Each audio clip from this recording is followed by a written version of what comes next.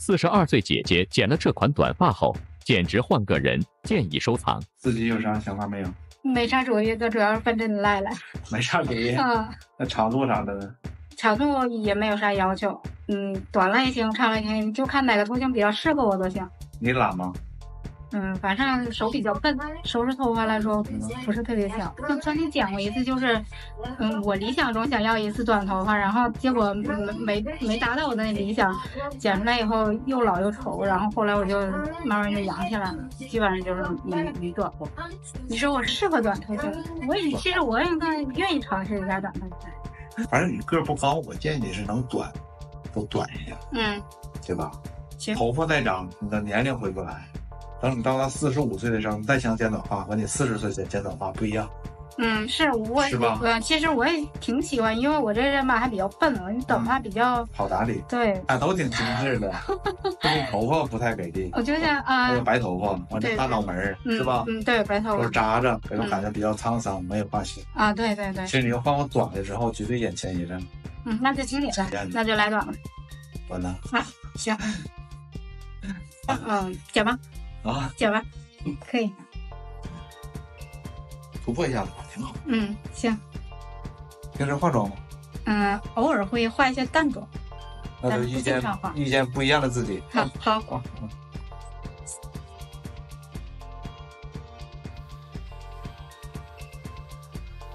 只有做发型才会让你那什么改变特别大。你说你这白头发都长这儿，我前面一秃，特别像小老太太一样啊，是吧？嗯 交给我吧啊，嗯，好，管管你一个不一样的自己嗯，好好，谢谢可以用头帘遮盖一下是吧？哦，本来那块儿就都得多下来点儿了，因为前面没有了。嗯，一个发型对女人太重要了。我感觉也是，嗯，改头换面，换了一个头。来的时候已经做好心理准备了啊！对你充分的准备，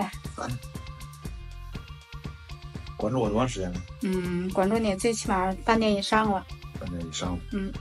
这才舍得动身呢。嗯，就做出了最慎重的选择，就只奔点儿来呀。那我也不会辜负你啊。嗯，哎呀，看你视频看了很多嘛，嗯，都那个特性都特别成功，嗯做出来，哎呀，感觉哎，真是换了一个人，嗯，对，所以我也就是抱着这种想法来了。到我这儿不换头都别来，必须得有经验。哇塞，你就啊，对。然后闺女还说呢，就期待我有回家有大变化了。哦，我跟她说了，我今天妈妈做头发的嗯，啊，妈妈回来做回来啥样？我得看看。老俊了。希望是。你这脑门儿不上个大学的可惜了。我这脑门儿挺宽是吧？嗯，是大学毕业吗？不是，不是。啊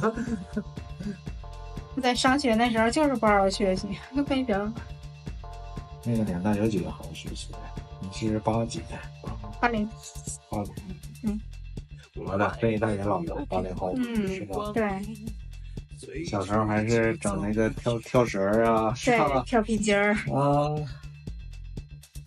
乐乐旁边姥姥奶奶奶的给扇着扇子，是吧？嗯对，看是那年代吗？对，就那年代，然后还有是上街卖那个大冰棍儿、跳冰棍 箱的那种两块钱一个，啊，特别清楚。